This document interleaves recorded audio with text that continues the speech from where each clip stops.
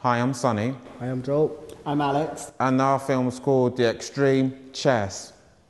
Oh, we picked the games table because we like the fact that you can relate a household item like chess and it also related to war. We made our film using stop motion animation, and though it was time consuming, it was very rewarding and it looks great. Thank you.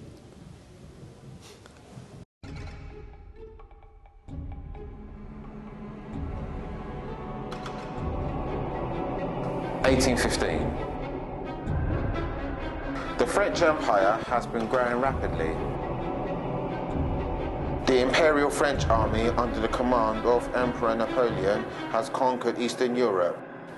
But an army has been growing in the West. Under the command of Duke of Wellington, forces are assembling at the northern border of France and are marching to Waterloo. Battle of Waterloo began Sunday, 18th of June.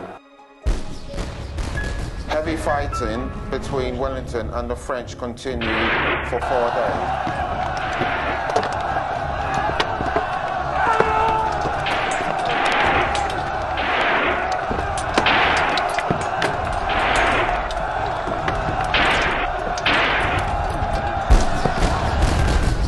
Wellington's army suffered heavy casualties and was soon outnumbered, but managed to hold out until reinforcements arrived.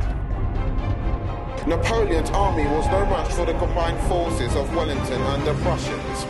And on the 24th of June, Napoleon, realizing defeat, tried to flee, but was later captured. Oh, Britannia.